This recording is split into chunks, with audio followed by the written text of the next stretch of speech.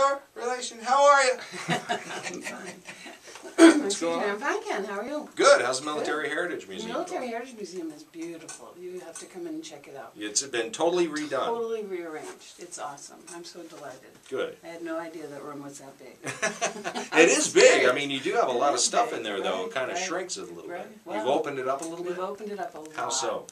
Well, instead of walking in and facing that wall, which was part of what we used to call our World, World War II room, Mhm. um, now there are two rows of cabinets, so you can walk in and see straight back down through. Okay. Um, and we have new displays out. Excellent. Yes. What are the displays uh, of? Um, well, we have one. Um, these are items that were donated by Bill and Sandy Jump from Fort Myers, and they gave us the um, artifacts. Let me guess. He was a paratrooper, right? Huh? no. No? and it's not his stuff. Oh. It's Okay. the stuff of a friend of theirs, Ken Robertson. Oh. Okay. Um, and he was a World War II veteran, but you know, when I was going through his the paperwork that came with it, I was delighted to find um, his father's World War One discharge certificate. Wow. Yeah, yeah, that was quite a nice Yeah, find. yeah, right, right, indeed. Right. That's cool. But he was um, a Bronze Star recipient, and we actually have the write-up, um, you know, how he earned it. Mm-hmm. Um, we have his shadow box, we have a bunch of photographs. Um, we have this really neat magazine that was um, printed by Planters Peanuts back in the 40s. I think the copyright on this is 43. And on the inside and the front cover, there's the big peanut logo, you know, and then it, it reads something like, you send, if you want additional copies of this helpful, useful magazine, um, send 10 cents and three um, package wrappers from nutritious and whatever delicious Planters Peanuts. Yeah, right. That's funny, but Cool. anyway. Anyway, that's great, and we have um, a display up of nine brothers who served at the same time. They served a total of hundred and forty-five years. Wow. All Yeah. career, sounds like they were all career military. Yeah, well, I, yeah, most of them. Yeah. So, yeah, but it's really neat. Excellent. Anyway.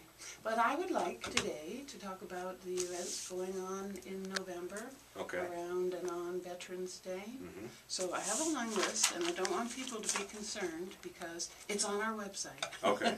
It's not going to be on later. Freedomisn'tfree.org. That's right, freedomisn'tfree.org. Um, I'm just, I'm gonna hit some of the highlights, so I won't, I won't talk about all of them, but again, go to the website and you can get the actual addresses.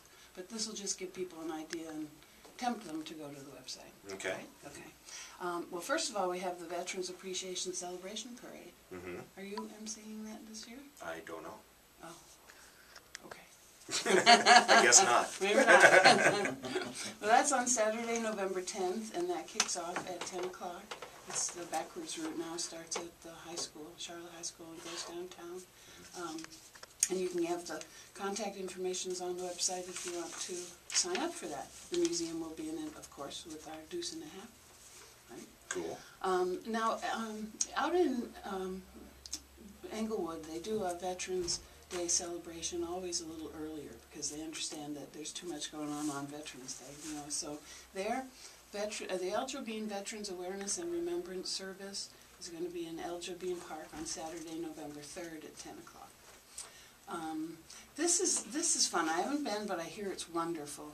There's an annual Veterans Recognition Assembly that's done every year by grade eight at the Port Charlotte Middle School. Oh, neat. Um, yeah, and there's they have a band and an honors chorus and patriotic readings, and that's on Tuesday, November 13th, starting at 4:15 at the Port Charlotte Middle School. But they warn you to get there early. Because there's very limited parking. Okay. The Marine Corps Birthday Ball. You don't have to be a former Marine. I guess there are no former Marines. I always say. Once a Marine, always a All Marine. right, okay. Yeah. You don't have to have been a Marine or be a Marine now. Okay. You don't even have to have been in the military. So everyone is um, invited to the Marine Corps Birthday Ball. And this year it's, um, they're celebrating their 237th birthday. And that's at the Isles Yacht Club Saturday, November 10th, starting at 5. Um, Florida's Blood Center's Honor Drive for Veterans, that'll be on Friday, November 9th, pretty much all day long. Um, okay, the Charlotte County Veterans Council Veterans Day Ceremony, a lot of possessives in there. Um, this is done with the Military Heritage Museum, and this will be in Laishley Park, starting at 11, so it's 11, 11 at 11. And this year, our keynote speaker is um, retired Air Force General Fred Buckingham. Oh. Air Air Show fame. Mhm. Um, and he gave me the name of his talk last night, and I wrote it down, and I left it at home. but um, that will be on our website later. Um, but this is a great ceremony. It starts at 11. We have the U.S. paratroopers bringing in the colors. We got all the official stuff, so it would be very nice.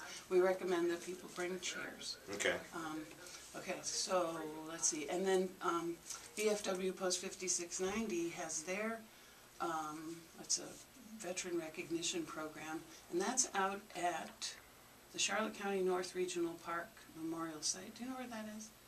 I do not. It's just, it's just after, um, you turn, after 776 on the left. It's apparently well marked. There's a fairly new park out there.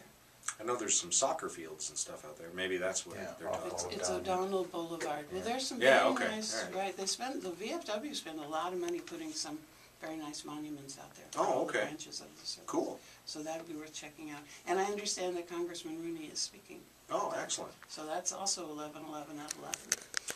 Um, okay, now, that afternoon, eleven eleven at three, the museum is doing a few different things. All right, we're, number one, of course, honoring veterans, as we always do. Um, we're gonna do our war tales, which, um, we put name tags on veterans showing their branch of service and when they served, and it's a chance for people to speak one-on-one to somebody about his actual experiences. Mhm. You and I have talked about this before. People, lots of people say, ah, I didn't do anything special. You know what? Everyone has a job to do. You know, I understand that for like every infantryman, there are twelve support people, something Wow. phenomenal like that, yeah. Um, so, and every job is important, and even if you served and it wasn't wartime, well, you know what? You were training every day and prepared to go if you had to, so everybody was important. So, so that's, War Tales is going on. At five o'clock, we're going to be unveiling our two thousand and twelve Wall of Warriors honorees plaque. And our Wall of Warriors honoree for this year was, um, General Buckingham. Oh, Again, excellent. So this is a big day for him. Yeah. Um, so we'll be pulling the tablecloth off that plaque at five o'clock. Um, and then we're also kind of celebrating our fifth anniversary there in the museum. That's um, true, There in yeah. Fisherman's Village, Mhm. so with our beautiful rearranging. Have I told you how excited I am about that? Yeah, well, yeah, I can see it, and, and it's good. It's good because you know, and it's uh, it's also good for the people because once again, you've got, I mean, how many warehouses full of stuff, I'm now seven and and uh, uh, so now you got a whole new rotation of things in there, and it's going to be uh, beneficial for the people to come check it out again, and for Right. those who haven't seen it. In Fisherman's Village, folks, you got to go check it out right there, Military Heritage Museum. That's right. Uh, brand new displays, and just leave a couple of bucks in the kitty and help them support the cause. Yes, yes. And Right. We're not quite done with our Oh, list. okay. You can't, you can't get rid of me so No, fast. all right. All right. The Royal Canadian Legion Post 176 has its annual Remembrance Day service, and the public is invited to this. All right. It's at Maple Leaf Golf and Country Club, um, also 1111, oh, at 1045. Okay. Um, Golden Corral, the Monday following Veterans Day is always, um, free meals for active duty service members and veterans, a free dinner. And I understand the line goes around the block, but, um, hey, if you want a free meal. There's an Army Navy youth football game on Sunday, November eighteenth at two o'clock. Um, this is, um, participants will include Englewood Cats, last year's champions. That mean anything to you? Nope. Okay, all right, well, all right. And then, and then there's one more I'd like to talk about, Pop um, which is actually in December. But you know, the city of Punta Gorda is celebrating its one hundred and twenty-fifth anniversary. Yes, I do. Yeah, happy birthday. Well, that's, it's a two-day event, two days of events. Um, Should be the entire year, don't you think? celebrate for a whole year, sure. Yeah. We only hit one hundred and twenty-five once. Wow. Um, anyway, they, we're, the, the, um, Marine Corps League and the Military Heritage Museum is presenting a Pearl Harbor Day Remembrance Ceremony on the Friday, the seventh, at five o'clock. And that'll be, there's gonna be a big stage set up in the city marketplace parking lot, right downtown.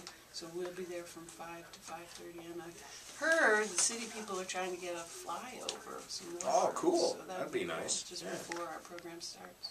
So, lots of stuff coming up. Oh, and we talked last time about wreaths across America. Yes. I would still like to encourage everyone to purchase a wreath to place on one of the twenty-two hundred um, graves at the Sarasota National Cemetery.